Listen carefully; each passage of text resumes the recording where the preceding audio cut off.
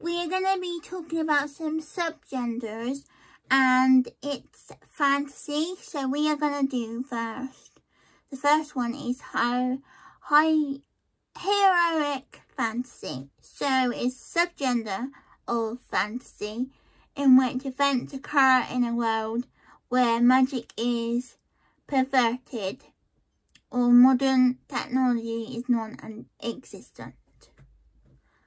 A fairy tale, wonder tale, magic tale, fairy story is a instance of European folklore gender that takes the form of a short story. Dark fantasy is another subgender of fantasy literature.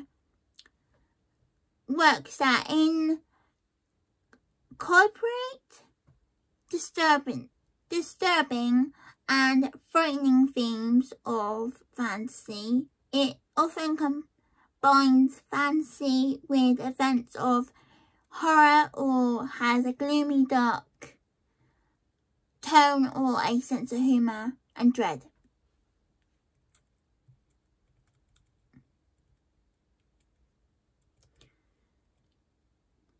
Magical realism.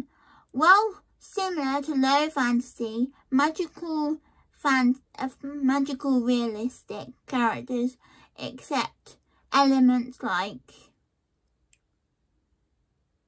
um tele thingy bob, which I'm going to put in the description anyway, as a normal part of their otherwise realistic world.